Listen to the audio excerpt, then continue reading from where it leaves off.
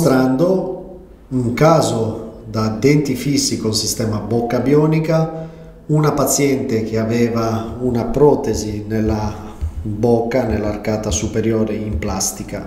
Questa era una dentiera completamente consumata, nota i denti come erano stati limati dalla dentatura inferiore, il sorriso non si vedeva più, si era praticamente mangiata la protesi i denti inferiori anch'essi erano ormai tutti in espulsione. Qua nell'RX puoi vedere come le radici hanno infezioni attorno.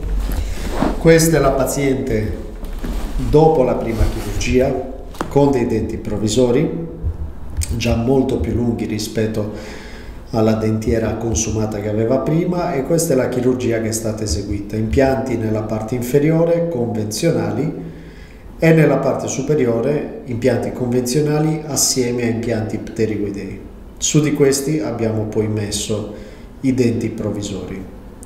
Già dopo la prima chirurgia il paziente può masticare, sorridere, chiaramente non può ancora dentare i cibi duri come con i denti definitivi, deve fare attenzione. Qua vedi l'attack 3D, il tipo di chirurgia che è stata eseguita. Sopra nota gli impianti pterigoidei che danno sostegno nelle zone posteriori evitando le zone di vuoto dei seni mascellari. Abbiamo eseguito un design seguendo il nostro protocollo bocca bionica, abbiamo simulato i denti che avremmo voluto creare, li abbiamo mostrati alla paziente, ottenuto l'approvazione della paziente e a questo punto abbiamo creato le simulazioni dei nuovi denti.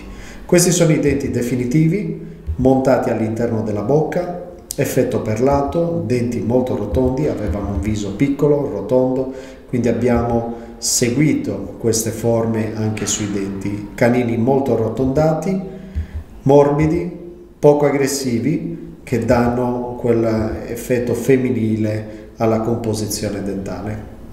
Nota l'effetto madreperla, nota come le gengive eh, si camuffino, abbiamo quell'effetto che si chiama camouflage, dove andiamo a integrare all'interno del corpo umano delle protesi artificiali del tutto indistinguibili da parti di corpo eh, umano. Questa è la vista da vicino dei denti con anche la saliva sopra, ricordati che parte delle proprietà ottiche dei materiali viene esaltata poi dalla saliva, i denti non sono mai asciutti, sono sempre umidi, e questo è il modo migliore di far percepire quelle che sono le proprietà ottiche straordinarie della linea superior. Questo è il caso prima e dopo. Spero ti sia piaciuto, questo è uno dei miei casi preferiti. Abbiamo optato qua per una tonalità molto chiara, in quanto la paziente aveva una carnagione chiara. Più è chiara la carnagione del paziente e più dobbiamo utilizzare delle linee, dei colori chiari diversamente quando la pelle olivastra è scura. Spero ti sia piaciuto, dai uno sguardo anche a tutti gli altri casi.